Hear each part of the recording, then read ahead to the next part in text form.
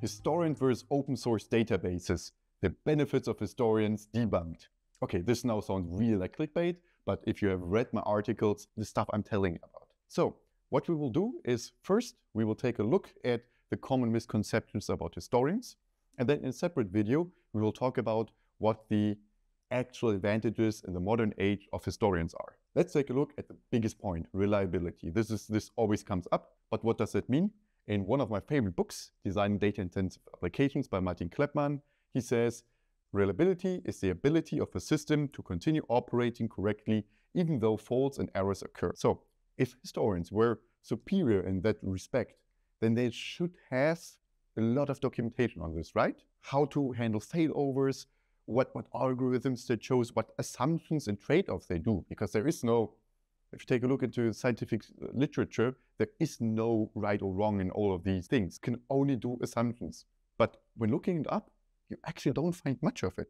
In contrast, if you take a look at open source databases, there is a lot of information there. There's, they describe in absolute detail how they ensure that no data is lost, what algorithms they choose for consensus to uh, ensure that um, data is not double written in there.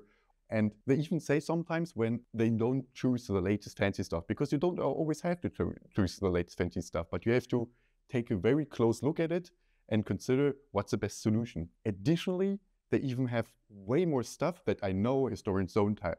They, they integrate well into Docker and Kubernetes. They integrate well into metrics and logging. So if anything goes wrong, you can easily come, come back from failures. You are easily mm-hmm. notified if something starts to slightly deviate. You that can directly create a help desk ticket. In contrast to that, historians are often just this this big black box that you put put on a VM with a yeah, trust me, bro, this will run for for 10 years. And it also makes sense. If you take a look, like the open source databases, these are the databases that power the big architectures of the internet. And that they process way more data than a typical factory does. So it makes sense that those databases are actually, because they are applied across different industries, that those databases are actually more reliable than a small, I, don't want to sound arrogant, but in compared to the overall uh, bandwidth of the internet, what happens in a factory and the data that's stored there is actually small. So compared to those smaller use cases, um, it actually makes sense to choose the bigger ones, the open source database. Second big misconception is compression. And it always comes up, yeah, open source databases say they can't compress data. I think the biggest point there is that there is a misconception between lossless and lossy compression. So in the IT world, compression usually means lossless. So all the data that you take in is just simply stored. Historians, however, they also classify lossy as compression. So they apply something like exception reporting or swinging door algorithm, now from the PI system, to reduce the amount of data that they need to store. And that is also perfectly fine, but it's not lossless, it is lossy. What they do is swing door algorithm, they decide before writing to the database or exception reporting if, for example, the, the, the value is within the sensor inaccuracy range, when the sensor value is just fluctuating a little bit. If it's still in the range, you don't need to store the values, only if it mm. deviates significantly out of there. It's fine to not store it, but it's not directly comparable. So, and very often in these benchmarks, you always compare those non-comparable algorithms with each other. But if you then now try to compare the actual algorithms with each other, they're roughly the same. And additionally, I would even make the point that compression isn't even that important in today's age. I mean, look how cheap storage has become. And it get, got even cheaper with technologies like AWS Glacier Archive. I just looked it up today.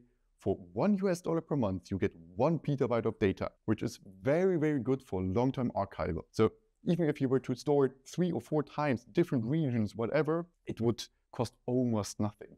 So I would say the best solution there is to have all the data that you need immediately and very often, the last days, months, whatever, for, for, for troubleshooting, error reporting, etc., to have it on the disk in the factory, and then to report for this archival purposes, just report it somewhere to AWS S3 bucket or any other. There are a lot of other vendors out there uh, for long-term archival.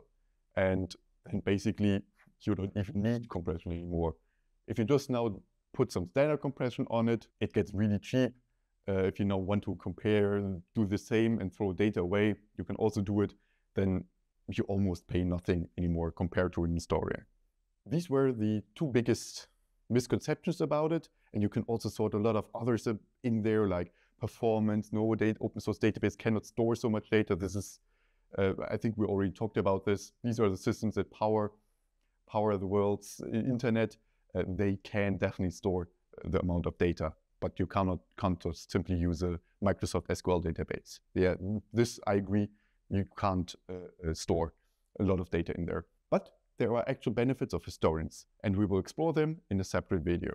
So thank you for watching. And if you're interested in more content of this, feel free to check out the description. You will find videos, blog articles, guides, all about the industrial IoT and the unified namespace.